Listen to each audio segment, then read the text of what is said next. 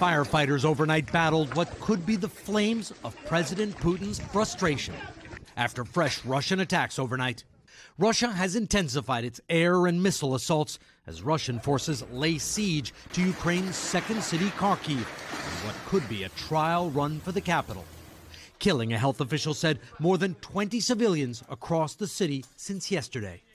Ukraine's President Zelensky accused Russia of using brutality against civilians to force him to sign a deal with Moscow, likely for his exit. And the international community is protesting those tactics. 100 diplomats walking out of a speech by Russia's foreign minister at the UN Human Rights Council on Tuesday, as a 40 mile Russian convoy is heading toward Kiev.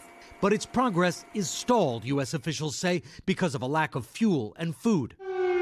Russian forces are still expected to encircle and attack the capital after Ukrainians said Russia bombed a key television tower and a Holocaust memorial site.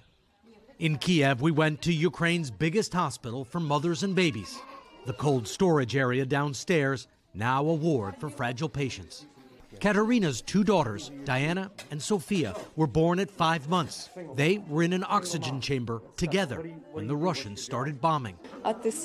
We had to rush down here as we were hearing the sirens and explosions, she says. Look at this place. It's old and rusty, and we don't know how long we'll be here.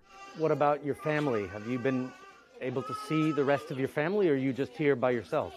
I have a brother who helped me, but he's a soldier and has been activated, so I have nobody else. Oksana's daughter Nicole was born with complex needs and requires constant care. How's Nicole? We were giving her a blood transfusion every two weeks, but now her condition is getting worse and she feels worse, Oksana says. How are you feeling? I, I, I have a child myself who has special needs and has extra health issues, and I know how, how powerless you can feel to be a parent with a, with a sick child. It is very hard, she says. We want this war to stop because our kids suffer and we cannot go home. As that Russian convoy slowly makes its way toward Kiev, the mayor of the city today told people to stock up and be prepared to defend their city. And a new development today, Hoda, the Ukrainian military announced that for the first time since this conflict began, its forces have gone on the offensive. All right, Richard Engel, uh, thank you. So heartbreaking to see those images, those mothers and those children. Take a deep breath.